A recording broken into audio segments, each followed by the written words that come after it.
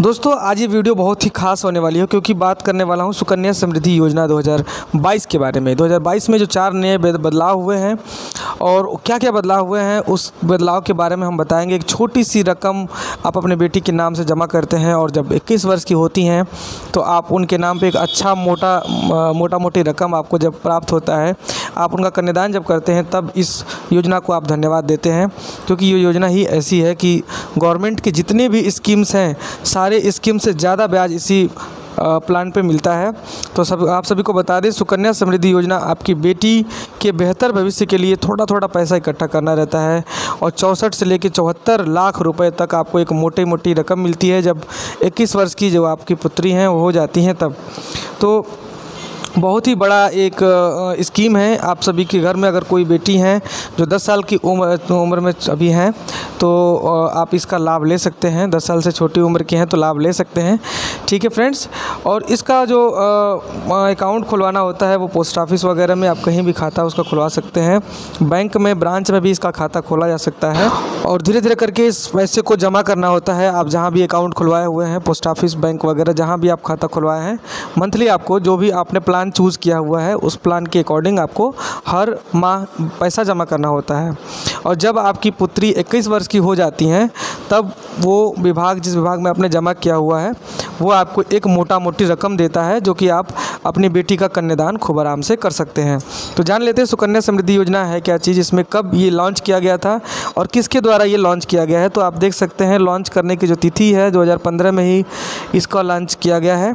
और नरेंद्र मोदी द्वारा ये लॉन्च किया गया है मिनिस्ट्री ऑफ़ वोमेंस और चाइल्ड विभाग द्वारा इसको लॉन्च किया गया है। वीडियो में आगे बढ़ने से पहले फ्रेंड्स आप सभी से हमारी गुजारिश है कि अगर आपको हमारी वीडियो थोड़ी सी भी पसंद आती है तो एक लाइक ज़रूर कर दें और इस वीडियो को अपने दोस्तों में भी शेयर करें।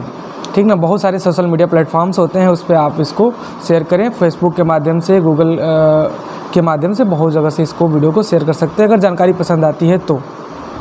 और अभी तक आपने हमारे यूट्यूब चैनल के सब्सक्राइब नहीं किया हुआ है तो यार प्लीज़ सब्सक्राइब कर लो। चलो सब्सक्राइब करो, अभी सब्सक्राइब करो। नहीं नहीं नहीं, तुम वीडियो देख के सब्सक्राइब नहीं करते हो। जल्दी सब्सक्राइब करो और बगल में जो बेल आइकन घंटी दी है ना, उसको भी एक बार दबा दो और ऑल नोटिफिकेशन पे सेट कर दो। ठीक है? इससे होगा क्या फ्रेंड्स कि आने वाली जितनी भी नई नई वीडियोज़ हम आप सभी को ले ला रहे हैं, वो आपको सबसे पहले पहुँच पाएगी, जिससे कि आप अपडेट रहेंगे। ठीक है? तो चलिए अब शुरू करते हैं। आराम से देखिए वीडियो को स्किप मत कीजिएगा। हाँ? ठीक है, अपने वीडियो में हम आगे बढ़ते हैं।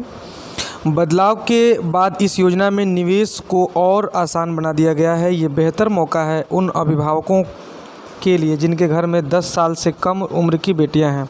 ज़ीरो से लेकर 10 साल की जो कम उम्र की बेटियाँ हैं, उनके लिए बहुत ही लाभकारी है। सरकारी स्मॉल सेविंग योजना कैटेगरी में सुकन्या समृद्धि योजना एक पॉपुलर बचत योजना है और आपके घर में 10 साल से कम उम्र की बेटियाँ हैं तो आपके नाम पर अकाउंट ओपन करवा सकते हैं।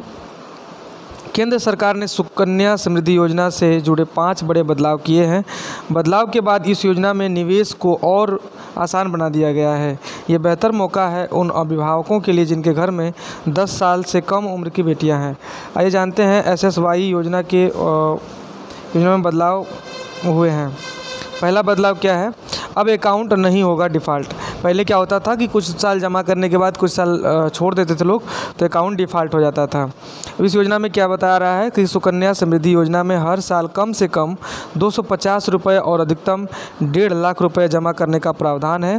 पहले न्यूनतम राशि नहीं कराने पर अमाउंट क्या होता था? डिफ़ॉल्ट हो जाता था, आपको पहले बता चुका हूँ।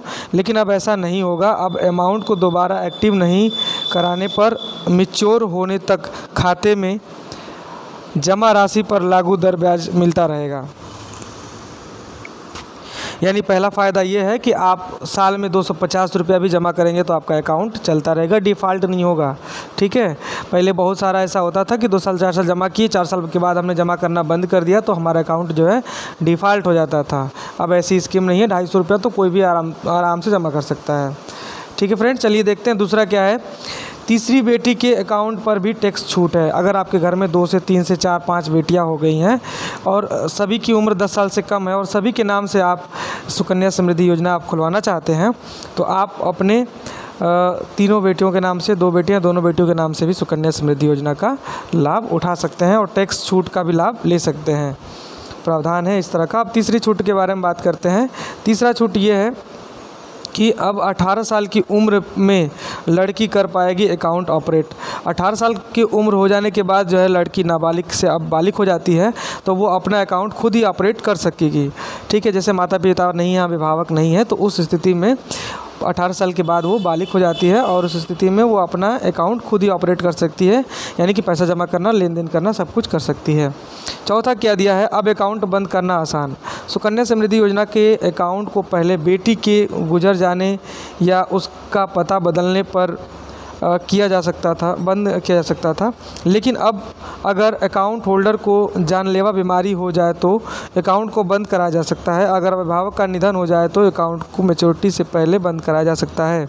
मतलब ये है कि सबसे पहले ये ये पहले फैसिलिटी नहीं थी कि अगर बेटी गुजर जाती है तो अकाउंट बंद होता था या नहीं होता था। मतलब बहुत काफ़ी समस्या होती थी, दिक्कत होने लगती थी। पैसा को वापस करने में लेने में जितना हमने जमा किया हुआ है।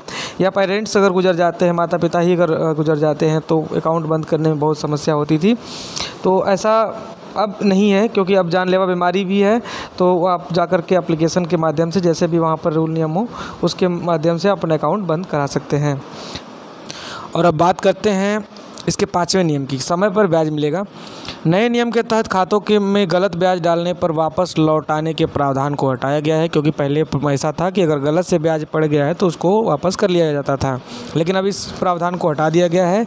इसके अलावा खाते पर सालाना ब्याज हर वित्तीय वर्ष के अंत में क्रेडिट किया जाएगा। मतलब जो ब्याज मिलना है, वो साल के लास्ट में ही मिलेगा। जो साल का लास्ट होता है, बैंकिंग का वो होता है मार्च। मार्च लास्ट होता है, अप्रैल से नया सेशन चालू हो जाता है। वैसे मेरे ख्याल से ये जो एक साल से लेकर के, ज़ीरो से लेकर के दस साल की जो बेटियाँ हैं, उनके लिए रामबाड़ ये एक प्लान है।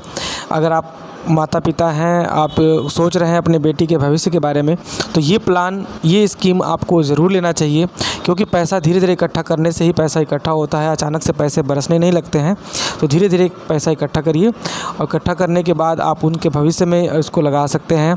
शादी विवाह ही करना बहुत बड़ी बात नहीं है, आपका जब वो रहेगा तो उनके भविष्य के लिए भी आप उस पैसा को यूज़ कर सकते हैं, भविष्य आपको कैसे बनाना है, आप खुद सोच सकते हैं कि हम अपने बेटी का भविष्य कैसे बनाएँगे। ये प्लान थी जिसके माध्यम से हम आपको समझा चुके हैं।